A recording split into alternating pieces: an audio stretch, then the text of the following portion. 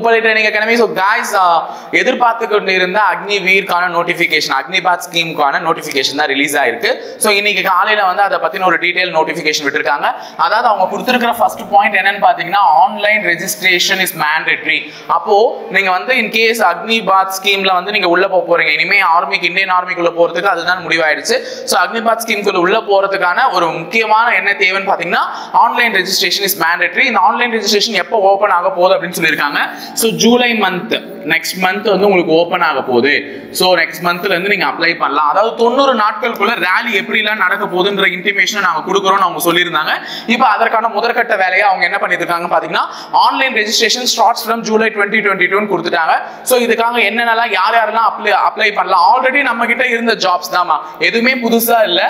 So clerk நம்ம already apply பண்ணியிருக்கோம். Store keeper technical அதுக்கப்புறமா ட்ரேட்ஸ்மேன் அண்ட் தென் வந்து எயித்து பாஸ் பண்ணக்கூடிய ட்ரேட்ஸ்மேன் இவங்களுக்கான ஜாப் நோட்டிஃபிகேஷன் தான். ஸோ இதை நீ பார்க்கும்பொழுது உனக்கு என்னென்னலாம் எலிஜிபிலிட்டி ரைட்ரியான்னு ஒரு தனி பிடிஎஃப் இங்கே நான் வச்சிருக்கேன். ஸோ நீ in case of general duty GD போகணும் அப்படின்னு ஆசைப்பட்டீங்கன்னா உங்களுடைய வயது வரம்பு இருபத்தி ஒரு வயதாக இருந்தது தளர்வுகள் கொடுத்து இப்போ இருபத்தி மூன்று வயதாக ஆக்கியிருக்காங்கன்றது எல்லாருக்குமே தெரியும். ஆல்ரெடி அதுக்கெல்லாம் இருபத்தி மூணு தான் இருந்துச்சு. ஸோ இருபத்தி ஒரு வயதுகள் அடிப்படையில் இருந்த எல்லா ஜாபுக்குமே இருபத்தி மூணு ஆக்கியிருக்காங்க.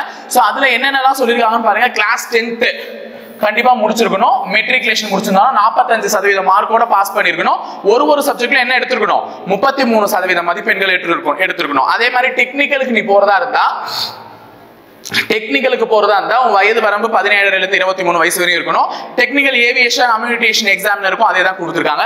ஸோ இங்க தெளிவா கொடுத்துருக்காங்க டென்த்தும் பிளஸ் டூவும் படிச்சிருக்கணும். கண்டிப்பா என்ன படிச்சிருக்கணும்? டென்த்தும் பிளஸ் டூவும் படிச்சிருக்கணும். நீ பிளஸ் டூ படிக்கல சார் நான் பிளஸ் டூ படிக்கல. நான் அதுக்கு பதில் என்ன படிச்சிருக்கேன்? டிப்ளமோ படிச்சிருக்கேன். Okay you are eligible plus two படிக்கல சார் டிப்ளமோ படிச்சிருக்கனாலும் நீ எலிஜிபிள் ஏன்னா இங்க இன்டர்மீடியேட் அப்படின்னு கொடுத்துருக்காங்க. ஸோ பிளஸ் டூக்கு பதில் நான் டென்த் முடிச்சு டிப்ளமோ படிச்சிருக்கனாலும் நீ எலிஜிபிள் தான் போகலாம் ஸோ ஆனா நீ படிச்சிருக்க வேண்டிய சப்ஜெக்ட்ஸ் தெளிவா மென்ஷன் பண்ணிருக்காங்க. நீங்க பிசிக்ஸ் படிச்சிருக்கணும் கெமிஸ்ட்ரி படிச்சிருக்கணும் மேக்ஸ் படிச்சிருக்கணும் இங்கிலீஷ் படிச்சிருக்கணும். ஸோ டிப்ளமா படிச்சவங்களை பொறுத்தவரையும் வேற எந்த குறையும் இல்லை. கண்டிப்பா அவங்க இது நாலுமே படிச்சிருப்பாங்க. First இயர்லேயே physics chemistry maths English first இயர்ல டெஃபினட்டா படிச்சிருப்பாங்க. பிளஸ் டூல நீ அப்போ என்ன குரூப்லாம் எடுத்திருக்கணும் டெஃபினட்டான்னு பாத்தீங்கன்னா maths bio and then maths computer science group எடுத்து எடுத்திருந்தா மட்டும்தான் அதுக்கு எலிஜிபிளா வருவேன் ஓகேவா? அதே மாதிரி அக்னிவீர் கிளர்க் ஸ்டோர் கீப்பருக்கு வந்து என்ன வயசுன்னு கொடுத்துருக்காங்க? பதினேழுல இருந்து இருபத்தி மூணு வயசு. சேம் டென்த் பிளஸ் டூ முடிச்சிருக்கணும். Intermediate exam pass in any stream இருக்கலாம். ஆர்ட்ஸ் காமர்ஸ் சயின்ஸ் அதாவது டுவெல்த்ல காமர்ஸ் குரூப் எடுத்தவங்க அண்ட் தென் சயின்ஸ் குரூப் எடுத்தவங்க எல்லாம் இதுக்கு வந்து எலிஜிபிள் தான். ஸோ எல்லாத்துலயுமே minimum sixty percentage of mark in aggregate and minimum fifty percentage in each subject அதாவது அறுபது சதவீத மார்க் எடுத்திருக்கணும் பிளஸ் ஒரு ஒரு சப்ஜெக்ட்லயும் ஃபிஃப்டி பர்சன்டேஜ் அதாவது நூற்றுக்கு நீ எழுதியிருந்தா ஐம்பது மார்க்காவது குறைச்சலா எடுத்திருக்கணும். குறைந்தபட்சம் ஐம்பது மார்க்காவது எடுத்திருக்கணும்.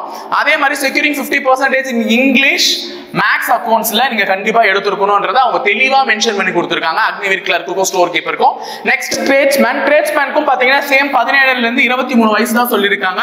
பதினேழுல இருந்து class tenth simple pass no stipulation in aggregate percentage but should have scored thirty three percentage in each subject அதாவது வந்து இதுல தான் வந்து நீங்க எல்லாருமே மேக்ஸிமம் உள்ள போறதுக்கான வாய்ப்புகள் இருக்கு. ஏன் அப்படின்னு பாத்தீங்கன்னா அதாவது குறைந்த மார்க் எடுத்தவங்க எல்லாம் ஓகேவா சோ முப்பத்தி மூணு சதவீதம் ஒரு ஒரு சப்ஜெக்ட்லயும் குறைந்தது முப்பத்தி மூணு சதவீதமா இருக்கணும்னா டென்த்ல நம்ம தமிழ்நாடு போர்டை பொறுத்தவரையும் தேர்ட்டி ஃபைவ் மார்க்ஸ் எடுத்தாதான் பாஸே அப்ப கண்டிப்பா இதுல எல்லாருமே எலிஜிபிள் தான். அவங்க வந்து இவ்வளோ அக்ரிகேட் பர்சன்டேஜ்லாம் சொல்லல.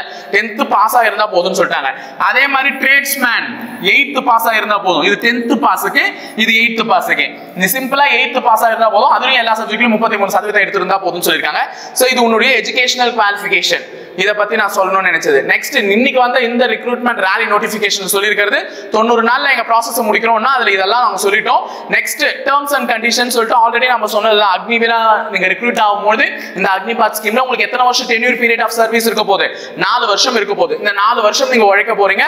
சோ நாலு வருஷத்துக்கு அப்புறம் வந்து உங்களுக்கு இந்தியன் ஆர்மில நீங்க சர்வீஸ் பண்ணி முடிச்சதுக்கு அப்புறமா உங்களுக்கு ஒரு பே அலவன்ஸ் கொடுத்து அவங்க அனுப்ப போறாங்க. சோ அது என்னென்னன்றதெல்லாம் தெளிவா இந்த ஸ்கீம்ல மென்ஷன் பண்ணிட்டு இருக்காங்க. சோ எம்ப்ளாயபிலிட்டி என்ன இருக்கும் அப்படின்னு சொல்லிட்டு உங்களுக்கு லீவ் எவ்வளோ இருக்கும்? எல்லாமே சொல்லியிருக்காங்க. ஆனுவல் லீவ் வந்து பாத்தீங்கன்னா முப்பது நாள். வருஷத்துக்கு முப்பது நாள் லீவ் விடுவாங்க. சிக் லீவ் மட்டும் உனக்கு மெடிக்கல் அட்வைஸ் பொறுத்து தான். டாக்டர் வந்து இவ்வளவு நாள் எடுத்துக்கலாம்.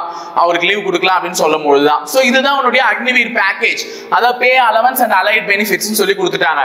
So first year of recruitment commencement of first இயர்ல உனக்கு எவ்வளவு கிடைக்கும்னு பாத்தீங்கன்னா முப்பதாயிரம் ரூபாய் கிடைக்க போகுது. அதே உன்னுடைய இரண்டாவது வருஷம் உன்னுடைய மாத சம்பளமா முப்பத்தி மூணாயிரமும் மூன்றாவது வருடம் முப்பத்தி ஆறாயிரத்தி ஐநூறு நான்காவது வருடம் நாற்பதாயிரம் சேலரி வந்து உனக்கு கிடைக்கும். ஸோ பர் இயருக்கு இயருக்கு உனக்கு ஒரு சேலரியில பர் பிளஸ் அலவன்ஸ் உனக்கு அப்ளிகேஷன் அப்ளிகபிள் அலவன்ஸ் எல்லாமே கொடுத்துருவாங்க. ஒரு ஒரு விஷயத்துல உனக்கு பிடிச்சிட்டு இருப்பாங்கல்ல. ஸோ அதெல்லாம் வச்சுதான் உனக்கு ஃபைனலா சேவா நிதி பேக்கேஜ்ல இருந்து உனக்கு சில லட்சங்கள் வரப்போகுது. ஓகேவா பத்து புள்ளி நாலு லேக்ஸ் வந்து உனக்கு வந்து இன்ட்ரெஸ்டோட சேர்த்து வரும். கிட்டத்தட்ட பதினோரு லட்சம் ரூபாய் வரும். அது வந்து சொல்லியிருக்காங்க ஸோ அதே மாதிரி உனக்கு வேற என்னென்ன? லைஃப் இன்சூரன்ஸ் கவரேஜ் அந்த ஃபார்ட்டி எயிட் லேக்ஸ் உனக்கு இன்சூரன்ஸ் கவரேஜ் போட்டு கொடுத்துருவாங்கம்மா.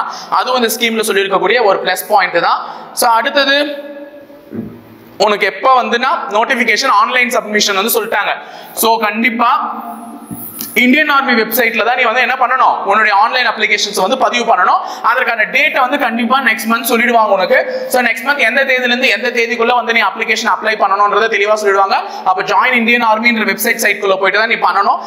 அதுக்கப்புறமா வந்து உனக்கு ரேலி சைட்டு உனக்கு ஒரு அட்மிட் கார்டு வரும். அந்த ல- அந்த ரேலி சைட் அதாவது வந்து உனக்கு எந்த டேட்ல இருந்து உனக்கு அட்மிட் கார்டு ரிலீஸ் பண்ணணும்னு சொன்னாங்களோ அந்த டேட்ல இருந்து தான் என்ன பண்ணணும்? அட்மிட் கார்டை டவுன்லோட் பண்ணிட்டு அது கண்டிப்பா ரேலி சைட்டுக்கு எடுத்துட்டு வரணும். இந்த முறை ரேலி சைட்டுக்கு என்னென்ன எடுத்துட்டு வரணும்ன்ற ஒரு டாக்குமெண்ட் லிஸ்ட்டே அவங்க த்ரோ அவுட்டா கொடுத்துருக்காங்க. ஸோ அதெல்லாம் பார்த்துடலாம். இது வந்து பாத்தீங்கன்னா சேம் நான் இப்போ காமிச்ச அதே ஏஜ் தான் உனக்கு. அங்க அதுதான் சொல்லியிருக்காங்க. நெக்ஸ்ட் உனக்கு என்னென்னலாம் இருக்கு? எக்ஸாம்ல வந்து பாத்தீங்கன்னா கிட்டத்தட்ட thousand six hundred meter run running இருக்கு. தௌசண்ட் சிக்ஸ் ஹண்ட்ரட் போன முறை வச்சதே தாமா எல்லாமே அதே தான் வச்சிருக்காங்க. வேற எதுவும் புதுசா வைக்கல. ஸோ குரூப் ஒன்னு குரூப் டூன்னு பிரிச்சிருக்காங்க. அது என்னன்னா ஃபர்ஸ்ட் ஃபைவ் மினிட்ஸ் தேர்ட்டி செகண்ட்ஸ்ல முடிச்சா உனக்கு அறுபது மார்க் கொடுக்க போறாங்க.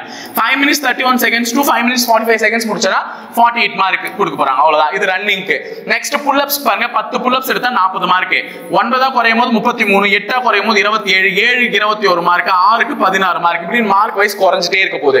நெக்ஸ்ட் டிட் ஜம்ப் கேள்விப்பட்டிருப்பீங்க. அந்த நைன் ஃபீட் டிட் ஜம்பும் உனக்கு குவாலிஃபைங் தான் ஜிக்ஸாக் பேலன்ஸும் குவாலிஃபைங் தான். கண்டிப்பா அதெல்லாம் முடிச்சிருக்கணும். இதெல்லாம் முடிக்கிறதுக்கு முன்னாடி உனக்கு ரேலி சைட் எங்க வந்து உனக்கு பிசிக்கல் வைக்க போறாங்களோ அங்கேயே உன்னுடைய பிசிக்கல் ஸ்டாண்டர்ட்ஸ் ஹைட் எல்லாம் மெஷர் பண்ணிடுவாங்க. ஸோ செஸ்ட் எல்லாம். அடுத்தது மெடிக்கல் ஃபிட்னஸும் உனக்கு அங்கேயே செக் பண்ணிடுவாங்கன்னு சொல்லிட்டாங்க. Next written exam exam through common entrance exam இதுதான் ரொம்ப முக்கியம். சி ஃபைனல் ஸ்டேஜ் ஆஃப் அலாட்மெண்ட் உனக்கு வேலை கிடைக்கணும்னு நினைச்சிக்கினா ஃபைனலா இதுதான் உனக்கு ரொம்ப முக்கியமா இருக்க போகுது. ஸோ இவ்வளோத்தையும் நீ கடந்து வந்தோன்னு உனக்கு என்ன இருக்க போகுது? ரிட்டன் எக்ஸாம் நடக்க போது ஸோ ரிட்டன் எக்ஸாமுக்கு நீ கண்டிப்பா வரணும். அது ரேலி சைட்லயே உனக்கு பிசிக்கல் முடியும் போதே உனக்கு டேட்டை இன்டிமேட் பண்ணி இந்த தேதிக்கு இங்க வந்துருங்கன்னு சொல்லிட்டு உனக்கு சொல்லிடுவாங்க. அட்மிட் கார்டும் உனக்கு வந்து ரேலி சைட் வழியா கொடுத்துருவாங்கன்னு சொல்லிட்டு இருக்காங்க ஸோ அதை எடுத்துட்டு நீங்க கவனமா வறந்து சேரணும் அப்படின்ற இன்ஃபர்மேஷனை தான் கொடுத்துருக்காங்க. அடுத்தது ஸோ ஆம். இங்க சொல்லிருக்காங்க பாரு. போட்டோ காஃபி எடுத்துட்டு வரணும். போட்டோகிராஃபி எடுத்துட்டு வரணும். ஃபர்ஸ்ட் நீ ரேலி சைட்டுக்கு வரும்போது என்னென்னலாம் எடுத்துட்டு வரணும்னா உன்னுடைய அட்மிட் கார்டு கண்டிப்பா எடுத்துட்டு வரணும். தயவு செஞ்சு அதை சுருக்கியோ என்னவோ பண்ணியோ அந்த மாதிரிலாம் எடுக்காதீங்க. வர அட்மிட் கார்டு ஒழுங்கா எடுங்கன்றத தெளிவா மென்ஷன் பண்ணிட்டாங்க. நெக்ஸ்ட் எத்தனை பாஸ்போர்ட் சைஸ் போட்டோ எடுத்துட்டு வரணும்னா இருபது பாஸ்போர்ட் சைஸ் போட்டோகிராஃப் எடுத்துட்டு வரணும். அதுல வந்து சொல்லிட்டாங்க போட்டோகிராஃப்ஸ் நாட் பி அலோடட் அதுல வந்து முன்னாடி மூணு மாசத்துக்கு முன்னாடி இருந்த போட்டோகிராஃப் தான் அலோட் பண்ணுவாங்க. ஸோ அதுக்கு முன்னாடி எடுத்த போட்டோகிராஃப்ல நாங்கள் கண்டிப்பா அலோவ் பண்ண மாட்டோம்னு சொல்லிட்டாங்க. நெக்ஸ்ட் வந்து என்னன்னா வரும்போது ஒரு ப்ராப்பரான ஹேர் கட்டோடையும் க்ளீன் ஷேவோடையும் வந்து சேருங்க. அதுவும் எக்ஸப்ட் சிக் கேண்டிடேட்ஸ் சீக்கிய மதத்தை தவிர மற்ற எல்லாருமே வந்து கண்டிப்பா ஒரு க்ளீன் ஹேர் கட் இருக்கணும். அதே நேரத்தில் க்ளீன் ஷேவ் இருக்கணும் அப்படின்னு சொல்லிட்டாங்க. அதே மாதிரி எஜுகேஷனல் சர்டிபிகேட்ஸ் நீ என்ன எஜுகேஷன் டென்த்தை வச்சு நான் வேலைக்கு போறேன்னா டென்த் சர்டிபிகேட் இஸ் மேண்டட்ரி எயித்தை வச்சு வேலைக்கு போனா எயித்தை வச்சு அது என்ன பண்ணியும்? அதனால ஆன்லைன் அப்ளிகேஷன் என்னென்ன டீடைல்ஸ் வந்து அது கரெக்டாக எடுத்துட்டு போகணும்.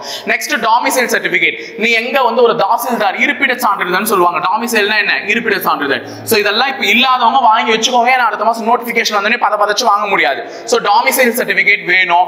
நெக்ஸ்ட் உன்னுடைய கேஸ்ட் சர்டிபிகேட் சோ இது ரெண்டுமே போயிட்டு நம்ம தாசில்தார் அலுவலகத்துல கேருங்க உன்னுடைய கம்யூனிட்டி சர்டிபிகேட் வாங்கி கொடுத்துருவாங்க. டாமிசைல் இருப்பிட சர்டிபிகேட் வாங்கி கொடுத்துருவாங்க. Next religion certificate to be issued by the tahsildar. Sikh Hindu, Muslim Christian is not mentioned in caste so religion certificate எப்போ வாங்கணும்ன்றத ஞாபகம் வச்சுக்கோ. நமக்கு பெரும்பாலும் வந்து ஜாதி சான்றிதழிலே அதை மென்ஷன் பண்ணிடுவாங்கம்மா. என்ன ரிலீஜியன்றது பெரும்பாலும் என்ன வந்துடும் ஜாதி சான்றிதழிலே வந்துடும் அந்த மாதிரி ஜாதி சான்றிதழில் மென்ஷன் பண்ணலன்னா நம்ம தனியாக என்ன வாங்கணும்? ரிலீஜியன் சர்டிஃபிகேட்டை வாங்கி தான் ஆகணும் ஓகேவா அது ஒன்று சொல்கிறாங்க நெக்ஸ்ட் ஸ்கூல் இல்ல ஸ்கூல்ல உன்னுடைய கேரக்டர் சர்டிஃபிகேட் தட் மீன்ஸ் உன் டிசிலே மென்ஷன் பண்ணிருப்பாங்க. அதனால அதை தனியாக வாங்க வேண்டிய அவசியம் இல்லை. அதே மாதிரி அன்மேரிட் சர்டிஃபிகேட் வந்து for candidates less than twenty one years of the age with photograph issue by the village sarpanch municipal corporation within last six months அப்போ நீங்க அன்மேரிட் சர்டிஃபிகேட்டை வாங்கணும். உன்னுடைய விஓ கிட்ட மேக்ஸிமம் வாங்குற மாதிரி இருக்கும். ஸோ அதெல்லாம் வந்து பார்த்து வச்சுக்கோங்க இந்த சர்டிபிகேட்லாம் நெக்ஸ்ட் என்சிசி இதெல்லாம் நீயே வாங்கி வச்சிருப்ப. ஸ்போர்ட்ஸ் சர்டிபிகேட்லாம் வாங்கி வச்சிருப்ப. ஸோ எல்லாருக்கும் எவ்வளோ எவ்வளோ மார்க்ஸ் தான் கொடுக்குறாங்க. அந்த ஸ்பெஷல் மார்க்ஸ்ன்றதையும் மென்ஷன் பண்ணியிருக்காங்க ஸோ போனஸ் மார்க்ஸ் அதாவது வந்து காமன் என்ட்ரன்ஸ் எக்ஸாமினேஷன் சொல்றோம்ல அந்த ஃபைனல் ஸ்டேஜ் ஆஃப் எக்ஸாமினேஷன்ல இருபது மார்க்கு யார் யாருக்கெல்லாம் கொடுக்குறாங்கன்னு பாரு. அதாவது வந்து எக்ஸ் சர்வீஸ் மேன் கேட்டகரியோட அந்த பசங்களுக்குலாம் கொடுக்குறாங்க. தென் என்சிசி ஏ சர்டிஃபிகேட் வச்சிருந்தா அஞ்சு மார்க்கு பி சர்டிஃபிகேட் வச்சிருந்தா பத்து மார்க்கு இதெல்லாம் உனக்கு கொடுக்குறாங்க. இன்னும் சில பேருக்கு எக்ஸப்டட் ஃப்ரம் சி அதாவது எக்ஸாமே இல்லை. யார் யாருக்குன்னு பாருங்க ரெண்டு விதமான கேசஸ்க்கு எக்ஸாமே இல்லை. என்னன்னா என்சிசி சி சர்டிஃபிகேட் வச்சுட்டு இருக்கவங்களுக்கு அக்னிவீர் ஜிடியும் அதாவது ஜெனரல் டியூட்டிலையும் ட்ரேட்ஸ்மேன்லையும் என்ன இல்லை? எக்ஸாமினேஷனே இல்லை. அதே மாதிரி ரிப்பப்ளிக் டே பரேட்ல போயிட்டு நீ என்சிசிசி சர்டிஃபிகேட் வச்சிருந்தனா உனக்கு கிளர்க்கு ஸ்டோர் கீப்பர் டெக்னீஷியன்ல என்ன இல்லை? எக்ஸாமே இல்லை. ஸோ இந்த மாதிரி பெனிஃபிஷியரிஸ்லாம் உனக்கு ஆல்ரெடி இருந்தது தான் ஸோ அதே தான் இங்கே தெளிவாக திருப்பி மென்ஷன் பண்ணி காமிச்சிருக்காங்க. கைஸ் காமன் என்ட்ரன்ஸ் எக்ஸாமினேஷனுக்கான ஒரு ரேலி நோட்டிஃபிகேஷன் ரிலீஸ் பண்ணிட்டாங்க. ஸோ அக்னிபாத் ஸ்கீம் பற்றி இவ்வளோ தான் நான் இப்போ சொல்லணும்னு நினச்சது. இதை பற்றி இன்னும் டீட்டெயிலாகவும் நம்ம அப்புறமா டிஸ்கஸ் பண்ணி பேசலாம். ஸோ இந்தியன் ஆர்மிக்குள்ளே போனோன்ட்டு வேகத்தோடையும் உத்வேகத்தோடு இருக்கக்கூடிய இளைஞர்கள் இந்த வாய்ப்பை நல்லபடியாக பயன்படுத்திக்கோங்க. ஜூலையில் வரப்போகுது நோட்டிஃபிகேஷன் ஸோ இப்பயே ஃபிசிக்கலுக்கும் ஃபிட் ஆயிரு எக்ஸாமிங்க்கும் ஃபிட் ஆயிரு. தொடர்ந்து எங்கள் சேனலை பார்த்து சப்ஸ்கிரைப் பண்ணி வச்சுக்கோங்க. ஸோ ரிட்டன் எக்ஸாம்ஸ்க்கு வீடியோஸும் போட்டுட்ருக்கோம். நெக்ஸ்ட் ஃபிசிக்கலுக்கும் எப்படி இருக்குன்ற வீடியோஸ்லாம் போட்டுட்ருக்கோம். தொடர்ந்து பயிற்சி பெற்று மு- முப்படையில் இணையறதுக்கு முப்படையினுடைய துணையோட போய் ஜாயின் பண்ணிக்கோங்க. தேங்க்யூ